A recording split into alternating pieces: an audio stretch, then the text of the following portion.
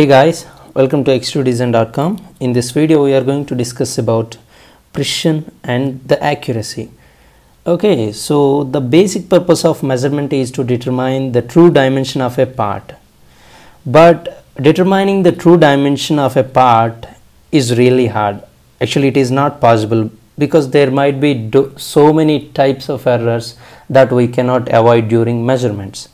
So we have to achieve an accurate and very close values towards the true value or true dimension right? So this amount of closeness will determines the accuracy of the measurement measuring instrument okay? But sometimes we used to say uh, precise and accurate measuring instruments. So what what that word precise determines the char- characteristic of that instrument. So let's discuss it. What does precise means and why it is different from accuracy. Okay so let me take a shaft uh, and if I uh, uh, I am gonna measure this shaft for a couple of times and I will take that values on the graph. Okay so this is the graph let's say. This this is uh, on X I'll take uh, frequently frequent measuring measurements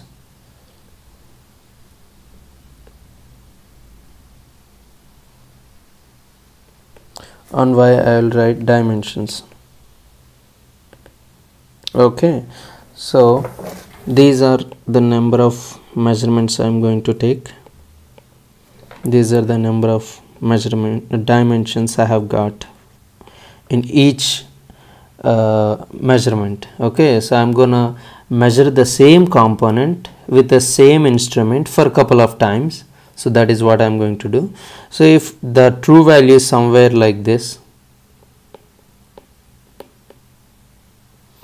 and now if I start taking the measurement for the first one if I got let's say it is 10 20 30 40 okay 50 so okay.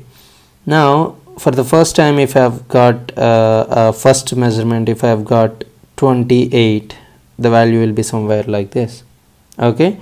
And if I got the second measurement as 25 and the third one is like uh, 20 the so you see the same as measuring instrument uh, but i'm taking too much difference of value it won't be like that it will it will be very close. But uh, for the sake of uh, understanding i'm taking like this okay so the third value uh, third value done. Fourth value somewhere like this. And the fifth value somewhere like this. And sixth somewhere like this. If you take average for these measurements you will get uh, an average line somewhere between here okay? The average line will be this is what? The actual measurement let's say. So the difference between the true value and the actual measurement is called as error. Okay? Let's define precision. Okay? In this case all the measurements that we have got here are very close to each other. In precision what will happen? All the measurements will be close to each other okay? They will be very close to the average value. But the average value and the true value will have more difference. That is what? More error okay? So the difference between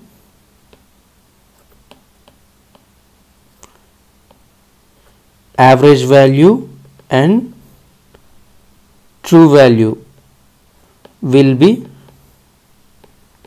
more. Okay? In the case of precision.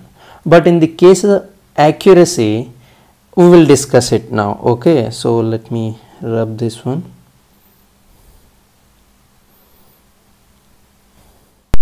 In the case of accuracy it will be little different. Okay? So let's i have taken uh, taken a new graph. Uh, let's take the measurements again then the measurements will be like this okay? The first measurement will be somewhere at 50 and the second measurement will be somewhere at uh, uh, 20 let's say. Mm, uh, you see? So i'm taking more difference in the measurements but it won't be like that. I'm just uh, uh, making sure you can understand if i take more difference okay? It won't be like that anyway and the third one is uh, let's say it is around uh, 38 or somewhere mm. and the fourth one is somewhere between 15 yeah. Fifth, fifth measurement is somewhere like 32 or something. And the sixth measurement is um, I'll take it again 15 okay. Now if I take average value for this one I will get the average line will be somewhere like this okay? This is what average value in case of accuracy. You can see that the difference between the average line and the true line is very less here okay? Less. But in the case of precision it was more but what is the difference between here and there? Why it got uh, uh, why they are different? Okay you can see that all the values are not close to each other. As we said in precision each measurement will be close to each other. But in here we have got a lot of difference. You can see that the distance between each point to the average value is more. Okay for few of them it is less but most of them it is very high right?